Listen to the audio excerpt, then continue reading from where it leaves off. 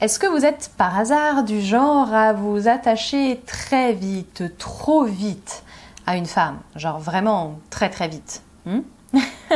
Si oui, c'est pas très très grave, restez, je vais vous expliquer pourquoi vous vous attachez aussi vite. En tout cas, je vais vous donner des éléments de réponse. Je vais aussi vous expliquer pourquoi vraiment c'est certainement ça aujourd'hui qui vous empêche hein, d'avancer dans vos ambitions amoureuses. Et ensuite, bien sûr, je vous donnerai quelques clés, quelques solutions pour vous en sortir. Bonjour à tous, je suis Alice Bergelac pour Le Coin Séduction, votre coach numéro 1 pour comprendre et satisfaire les femmes. Avant d'entrer dans le pourquoi euh, du comment, je veux d'abord, d'abord et avant tout vous rassurer si vous vivez bien la situation, si pour vous il n'y a pas de souci, si ça ne vous empêche pas d'être heureux, si la fille, elle aussi que vous avez rencontrée, s'est emballée aussi vite que vous, tout va bien, il n'y a pas de problème, d'accord? Ne créons pas de problème là où il n'y en a pas. Si vous, vous le vivez bien, si vous, ça vous pose pas de soucis, ça vous rend pas malheureux, ok, bon, bah au revoir et à bientôt. Vous pouvez rester pour la suite si ça vous intéresse, mais euh, ne cherchez pas vraiment à vous torturer et à vous culpabiliser si vraiment vous êtes heureux. Je vous rappellerai juste une toute petite chose. Prenez garde, hein. souvent quand les deux personnes s'emballent, c'est un gros coup de foudre, c'est un gros coup de cœur. Le coup de cœur, hmm, bon, voilà, j'ai quelques petites choses à vous dire sur la question. J'ai d'ailleurs déjà fait une vidéo il y a quelques temps là-dessus. Allez la voir, ça peut vous intéresser. Allez, la première partie de cette vidéo, mais pourquoi donc est-ce que vous vous attachez aussi vite à une femme, parfois même à une femme que vous n'avez pas encore rencontrée, ou à une femme que vous avez rencontrée qu'une fois, ou à une femme que vous connaissez très peu, voire quasiment pas? Eh bien, il y a plusieurs raisons à ça. Ça va certainement pas vous faire plaisir. Vous allez certainement peut-être pas avoir très envie de l'admettre aussi. Sachez que aujourd'hui, je m'adresse aux hommes, mais en fait, ça concerne aussi bien les hommes que les femmes, le mécanisme que je vais vous décrire. Si vous vous attachez très, trop vite aux femmes, c'est parce que vous avez beaucoup, beaucoup de place vide dans votre vie. Il y a beaucoup d'espace à occuper. Et qu'est-ce qu'on fait quand on a de l'espace à occuper? Eh bien, notre cerveau, il va bourrer des trucs. et si dans votre vie sentimentale, dans votre vie affective, vous n'êtes pas comblé, si vous manque des choses, eh bien forcément, la première personne qui va passer, vous allez en faire une obsession. C'est juste dans la logique des choses. Il n'y a rien d'étonnant à ça. Si vous avez de la place disponible, cette femme-là, même si elle n'existe pas encore vraiment dans votre vie, va occuper cette place. Vous allez ruminer, faire des obsessions, faire des scénarios, vous allez commencer vraiment à beaucoup, beaucoup, beaucoup y penser, l'idéaliser, fantasmer, vous faire des, voilà, des situations pas possibles en tête, et finalement, bah, vous allez vous attacher alors qu'il n'y a peut-être pas trop de quoi, parce que la personne à laquelle vous êtes en train de vous attacher, c'est une personne qui existe qu'à moitié. Il y a une partie de ce que vous savez d'elle et tout le reste, vous l'avez inventé. Mais vous vous êtes attaché parce que vous aviez de l'espace euh, de disponible, si j'ose dire. Je sais que ça fait pas plaisir à entendre, évidemment, mais gérer la solitude, c'est pas facile pour tout le monde et pour toutes les personnes, notamment qui ont souffert d'abandon. Attention, je parle pas d'abandon direct, mais une blessure d'abandon. Ça peut être un abandon direct du coup, mais on se comprend. Ceux qui ont une blessure d'abandon, ce sont souvent des personnes qui ont beaucoup de mal à supporter la solitude, qui ont beaucoup de mal à se retrouver seules et qui attendent beaucoup des autres pour les nourrir, pour être présents. Du coup, assez instinctivement, si c'est votre cas, vous allez vous tourner vers les autres, vous allez vous tourner vers les femmes en l'occurrence, pour qu'elles remplissent vraiment ce vide affectif euh, qui est en vous. Et forcément, du coup, vous allez euh, développer très très rapidement des sentiments, des attaches, et même, et même, un peu de dépendance. Parce que qu'on se le dise, s'attacher très trop rapidement, c'est le début de la dépendance. Encore autre chose qui pousse beaucoup de personnes à très rapidement s'attacher, ça va être l'obsession de la relation, l'obsession du couple. On a encore un certain nombre de personnes, hommes comme femmes, pas mal femmes quand même, mais hommes aussi, qui subissent cette forme de pression parce que il faut être en couple. C'est bien d'être en couple. Tout le monde est en couple. Tout le monde a toujours été en couple. Il faut être en couple. C'est, la réussite. C'est le Graal. C'est, je sais pas ce que c'est dans votre tête, mais ça représente certainement beaucoup.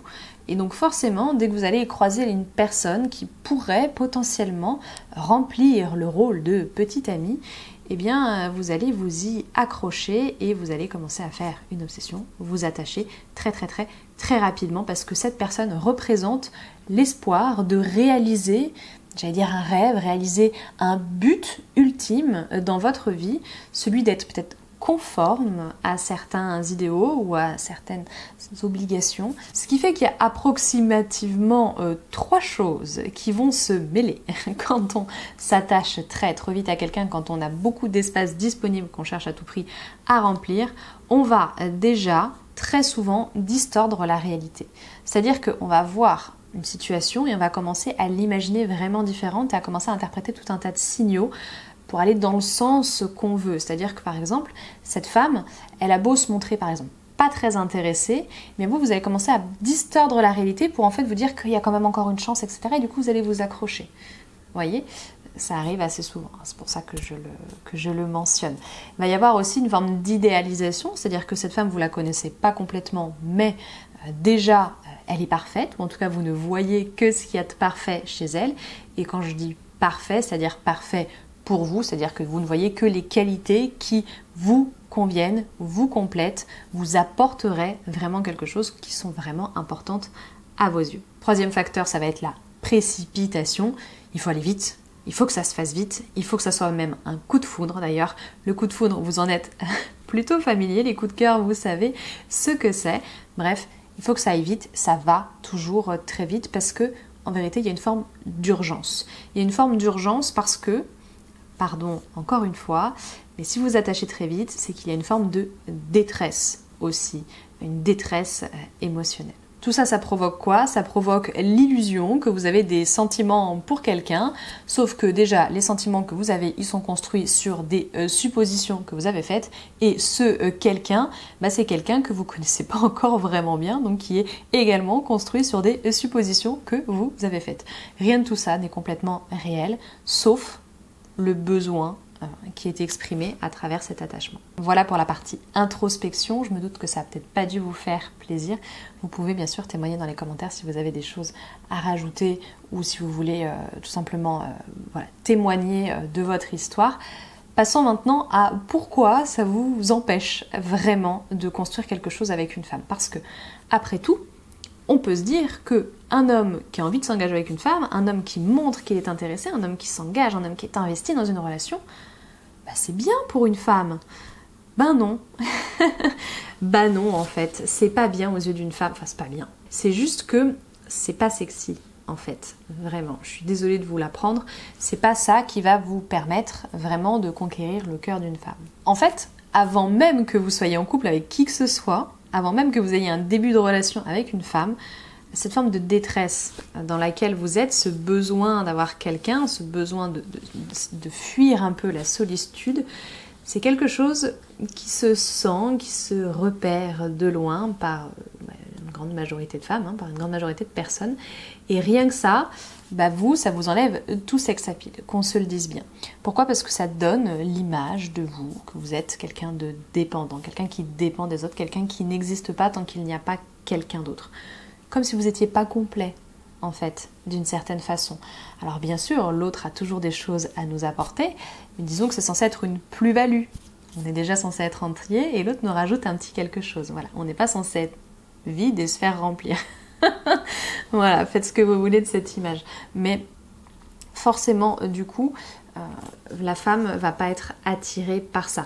Après, dans un début de relation aussi, de toute façon, hein, même si elle euh, se laisse une chance avec vous parce que malgré tout vous lui plaisez, c'est quelque chose qui peut beaucoup, beaucoup faire peur aux femmes parce que, en vérité, ça traduit hein, cette forme d'attachement prématuré, cet attachement très rapide, ça traduit une, une, forte, forte attente de votre part.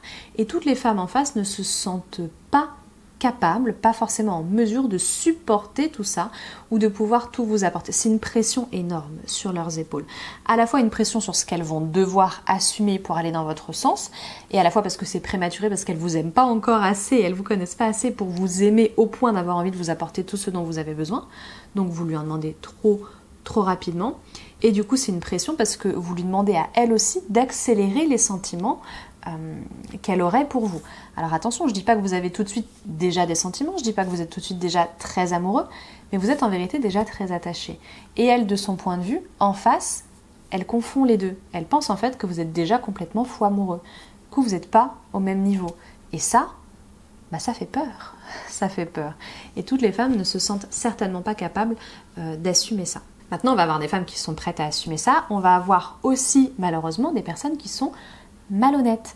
Les personnes malhonnêtes, perverses, narcissiques, vous voyez, bon, je vous renvoie à la vidéo si ça vous intéresse, ce sont des personnes euh, pour qui euh, vous êtes une proie idéale. Vous êtes vraiment le genre de personne, du coup, vers qui elles vont se diriger parce qu'elles savent qu'elles vont facilement avoir une emprise sur vous. Ils leur suffiront de vous donner ce que vous voulez, de vous faire croire qu'elles peuvent vous donner ce que vous voulez, etc., pour vous garder euh, sous leur emprise en fait. Et c'est comme ça qu'on se retrouve en vérité dans des relations complètement toxiques, des relations complètement malsaines, ou si c'est pas des mauvaises personnes, des relations qui nous conviennent pas du tout. Parce que si vraiment on est dans le besoin d'avoir quelqu'un, très rapidement on va idéaliser quelqu'un avant de se rendre compte que la personne qu'on a idéalisée, bah, c'est une grosse nulle, et on se retrouve bloqué là-dedans et vous dites mais qu'est-ce que je fais avec cette tocarde? Voilà, et après on se retrouve bête et on a perdu du temps et on a perdu de l'énergie et on se sent nul et ceci et cela. Bref, tout ça parce que en fait on s'est jeté sur la première venue presque faute de mieux, je sais pas comment dire, ou parce qu'elle était là au moment où vous en aviez besoin. Faites attention, faites attention quand même. En fait, vous risquez aussi très fortement, en plus de faire fuir les femmes, d'être très déçu des relations dans lesquelles vous allez vous embarquer et surtout de tomber dans une très forte dépendance, voire codépendance en fonction de la personne que vous avez en face de vous, de tomber dans des relations qui deviennent du coup parfaitement asymétriques, où vous allez être perpétuellement dans le besoin et dans l'attente, et très souvent, hein, plus on en attend, plus on est dans le besoin, plus on est déçu, et plus on est déçu, bah, plus on est malheureux. Voilà. Sauf que, euh, je l'imagine bien, c'était pas votre but initial quand vous aviez décidé que vous vouliez être en couple. Vous vouliez être en couple parce que vous vouliez être heureux, n'est-ce pas? Finalement, vous l'êtes pas. Mais oui, mais c'est ça le problème en fait. Hein. Si on veut être en couple parce qu'on ressent du vide, on ne peut pas attendre de l'autre qui remplisse euh, ce vide à lui tout seul. On sera toujours, toujours éternellement insatisfait parce qu'en vérité, c'est pas la mission de l'autre. Allez, haut les cœurs, il y a des choses à faire, je vous le garantis. Il n'est pas forcément question de renier votre nature, on est d'accord.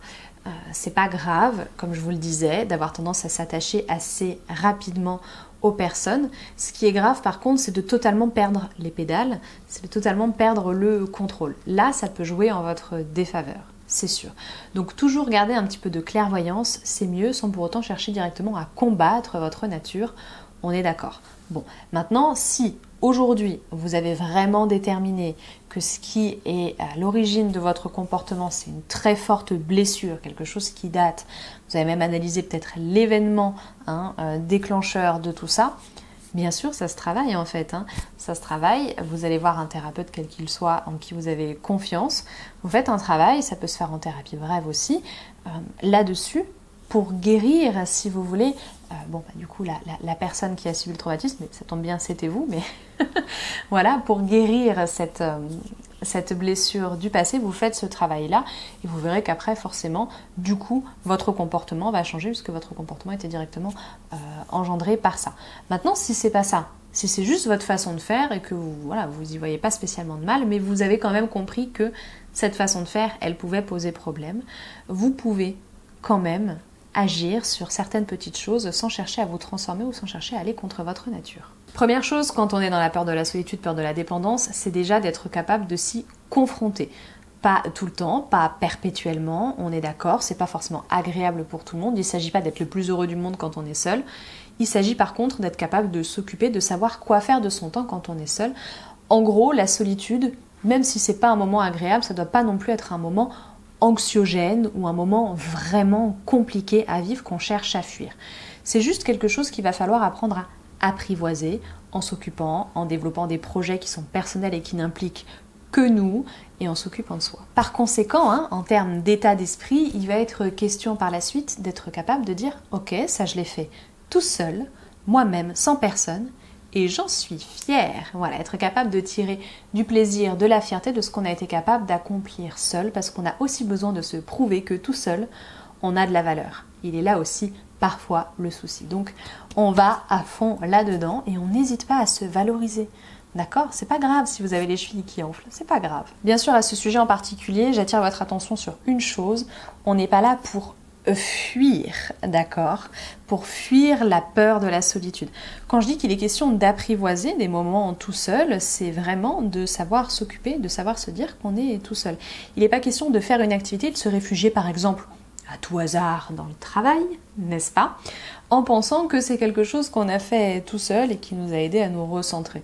Bien souvent, là, ça va être des activités plutôt du coup de fuite qu'on n'apprécie pas spécialement, surtout que ce sont des activités qui sont quotidiennes. Le boulot, on le connaît, d'accord On est routinier de ça. Donc finalement, ça fait déjà partie de la forme de solitude, euh, de projet personnel qu'on a déjà apprivoisé. Vous voyez où je veux en venir hmm Donc on essaye quand même de passer sur des choses un petit peu plus nouvelles ou euh, un petit peu plus personnelles. Autre chose aussi, tout à l'heure je vous disais qu'il fallait être capable aussi de se poser un petit peu pour réfréner nos ardeurs. Oui, oui, il faut pouvoir le faire quand même. C'est-à-dire qu'il faut quand même être capable parfois de dissocier, vraiment, vraiment, de faire cet effort-là, de regarder la situation de l'extérieur et de dire ok d'accord, je m'emballe parce que cette personne a telle qualité, telle qualité, telle qualité. Après, savoir remettre en question son propre jugement. Elle a cette qualité. Attends, vraiment? Ou c'est moi qui ai présupposé qu'elle avait cette qualité? Vous voyez Tout ce travail-là à faire est très, très, très important pour vous pour éviter justement de trop vous emballer. On reste dans du concret, dans du ce que j'ai observé, ce que je sais.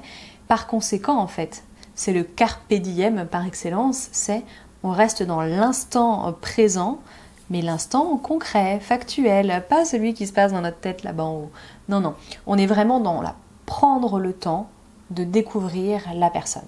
Prendre le temps, se forcer à respecter certaines étapes. Vous voyez, parfois je vous parle des étapes du jeu de la séduction, des étapes avant de rentrer dans une relation, etc. On se force, tant pis si c'est artificiel, mais on se force à prendre des étapes, à ne pas griller certaines étapes pour justement apprendre à connaître l'autre et pas trop s'enflammer. Enfin, dernière chose que vous allez pouvoir faire, ça va être de multiplier les rencontres. Et oui, parce que très souvent aussi, on s'accroche fort fort fort à une personne parce que des possibilités et des occasions, on n'en a pas beaucoup. Voilà. Donc l'idée, ça va être de plutôt s'ouvrir pour rencontrer davantage de personnes. Alors, il n'est pas forcément question de faire des dates, c'est-à-dire des rendez-vous amoureux à chaque fois, mais il est au moins déjà question de rencontrer plus de monde.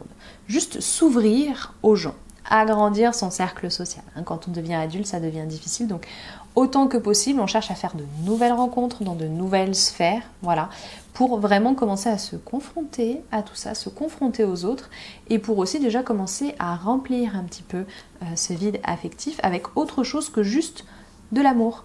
Parce que ce qu'on veut pas après, c'est qu'une fois qu'on trouve une copine, bah, ce soit le centre de notre vie.